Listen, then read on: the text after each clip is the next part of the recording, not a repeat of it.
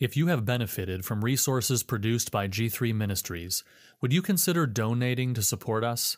Even a few dollars helps us to continue to publish free curricula, articles, podcasts, video resources, and more. Visit g3min.org/give or open the G3 app to give a one-time or monthly donation. Articles from G3 Ministries. Conservative evangelicals admirably repudiate emergent leaders who argue that both content and form must be contextualized. Evangelicals insist that since God's word is inspired and inerrant, God's truth transcends culture and must be preserved intact.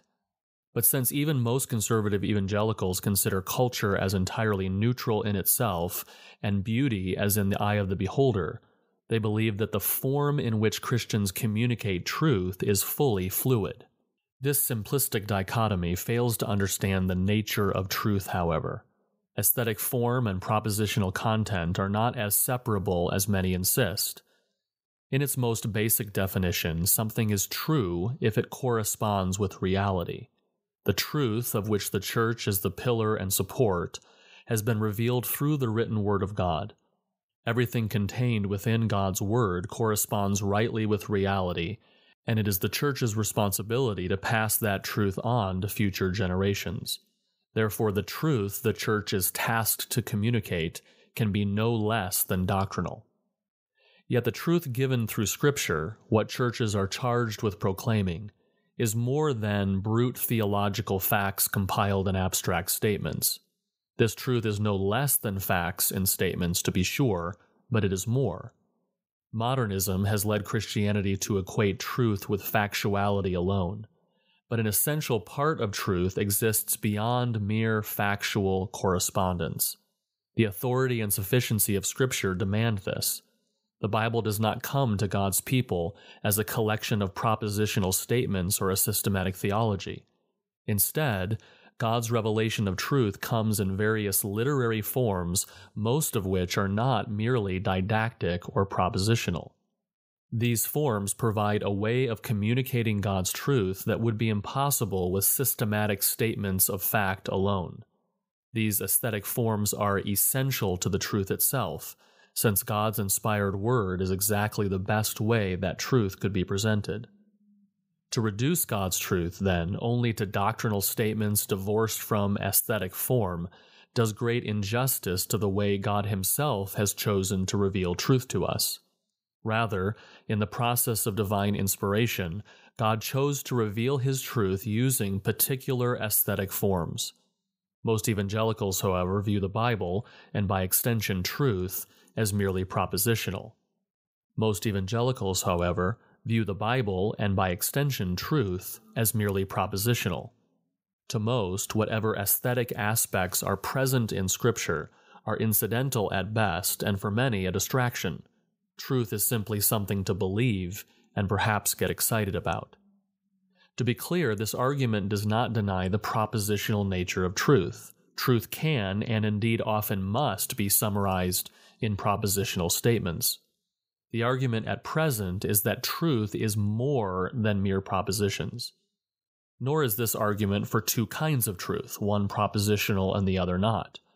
The argument here is that truth is always both propositional and aesthetic. Thus, what churches are charged with communicating is not only a collection of propositions that correspond to God's reality, but also aesthetic ways of expressing these ideas that likewise correspond to God's reality.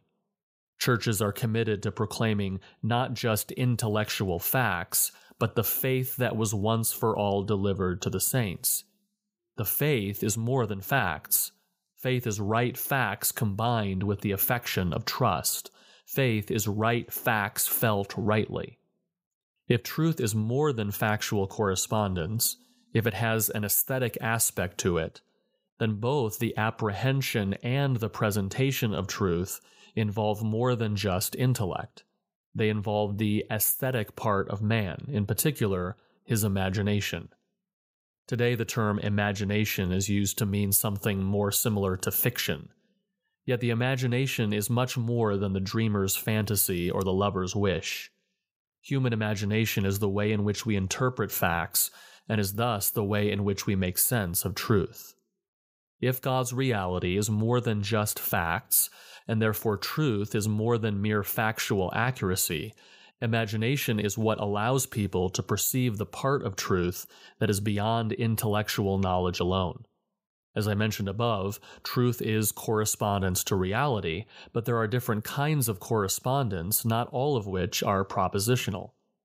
Sometimes non propositional correspondence does a better job of helping navigate reality than does propositional correspondence.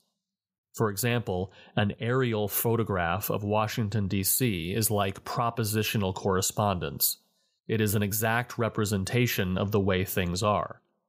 A map of D.C., on the other hand, is like metaphorical correspondence. It corresponds to reality, but in a way that highlights and emphasizes certain aspects of that reality over others. Perception and interpretation of truth depend upon imagination of that truth. Because of this, form and content are not so easily separable. In the words of media ecologist Marshall McLuhan, quote, the medium is the message, unquote. This is why the Bible uses tools of the imagination to communicate truth. It contains literary forms that utilize various aesthetic devices not just to decorate truth or make it more interesting, but in order to rightly shape our imagination of truth. The point here is that if churches communicate propositional statements of truth alone in the form of systematic theology and doctrinal confession, and yet they have not preserved a biblically informed imagination of those facts. They have not succeeded in communicating the truth. Commitment to the verbal plenary inspiration of Scripture implies that God inspired the Bible's ideas, words, and aesthetic forms. And this demands a commitment to expressing not just the ideas of truth expressed in the Bible, but also the way those ideas are imagined through Scripture's various aesthetic forms. You can read this essay at g3min.org.